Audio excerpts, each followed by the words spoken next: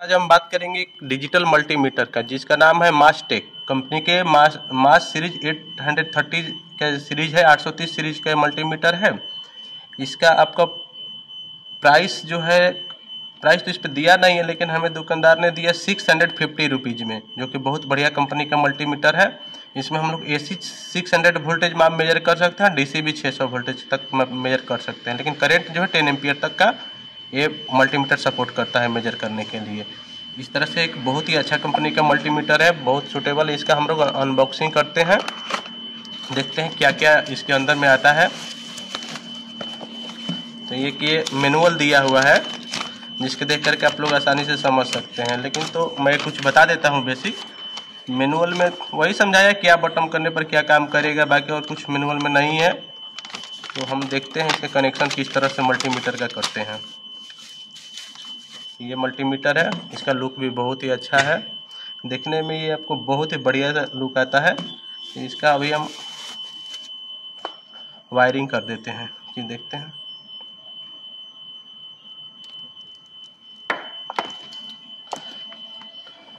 ये दिया है मेजर करने के लिए दो नोट दिया है और ये लगाने के लिए दिया है जिससे आउटपुट में हम लगाएँगे।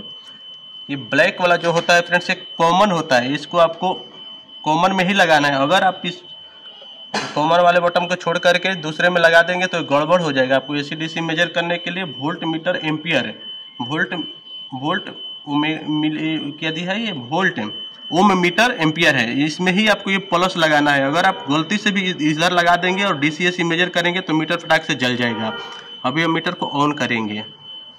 ये ऑन करने के लिए डायरेक्टली ऑन हो जाता है। इसमें भी एक होल्ड है। आप यहाँ पर होल्ड करके देख सकते हैं। लाइट की व्यवस्था है। अगर रात में आपको मीटर यूज़ करना है तो कोई प्रॉब्लम नहीं, एक लाइट दे देता है। इस तरह से हम इसको ऑन कर लिए हैं मीटर को और इधर करेंगे तो डीसी होगा, होल्ड हटा देंगे, जब मेजर करेंगे, वोल्टेज, करंट जो भी मेजर करना है तो इसको हम लोग डीसी हटा देते, ये होल्ड वाले बटन को हटा करके मेजर करेंगे। तो ये काम नहीं करेगा। डीसी मापने के लिए हमको ये वोल्टेज सिंबल जो कंटिन्यू कंटिन्यूस स्टेट लाइन दिया है, इधर से हम लोग करेंगे तो डीसी होगा और जो वोल्टेज का वैल्यू दिया हुआ है अल्टरनेट एसी एसी मेजर करने के लिए अल्टरनेटिंग करंट हमको ये इस साइड ले जाना पड़ेगा। अगर आपको घर का वोल्टेज नापना है तो टू ट्वेंटी आता है तो घर का वोल्टेज 220 वोल्ट होता है इससे हमको 600 पे करना पड़ेगा। मतलब कि आपको 200 से ज़्यादा वोल्टेज मापने के लिए मैक्सिमम पे सेट करना पड़ेगा करना पड़ेगा 600 तक। तो इस तरह से अभी हम एसी और डीसी दोनों मेजर करके दिखाएँगे किस तरह से मेजर करते हैं। हम एसी वोल्टेज में मेजर करेंगे। एसी वोल्टेज मेजर करने के लिए हम 600 पर लेके गए हैं। तो हम एक एक फ़ेज़ और आर्थिंग से से लेकर के चेक करेंगे। तो अभी हम चेक करते हैं। यहाँ पे मेरा एसी मेजर करने के लिए नीचे वाला ब्लैक कलर का आर्थिंग होता है। तो ये इस पर आर्थिंग पे ले गए और एसी यहाँ पे ले गए। देखिए टू हंड्रेड थर्टी थ्री दो एक फ़ेज़ में आया है मेरा करंट दो सौ दो सौ वोल्ट मतलब दो सौ तीस, बीस के आसपास होने से सही है। दूसरा फ़ेज़ में देखेंगे। दूसरा फ़ेज़ भी सही है और तीसरा फ़ेज़ तीसरा फ़ेज़ में दो हंड्रेड थर्टी फोर मतलब दो सौ चालीस तक आपका वोल्टेज रहेगा अर्थिंग से। तो अर्थिंग टू फ़ेज़ तो आपका सही है। अगर वोल्टेज 200 से लोअर आएगा तो आपका वोल्टेज जो फ़ेज़ नहीं मिल रहा है, खराब है। और हम फ़ेज़ टू फ़ेज़ चेक करके भी दिखाएँगे। फ़ेज़ टू से फ़ेज़ में दो फ़ेज़ मिलाने का मतलब 400 के पार होना चाहिए। 420 420 से 440 होना चाहिए। 220 220 440 होना चाहिए। तो फ़ेज़ से फ़ेज़ चेक करके देखते हैं।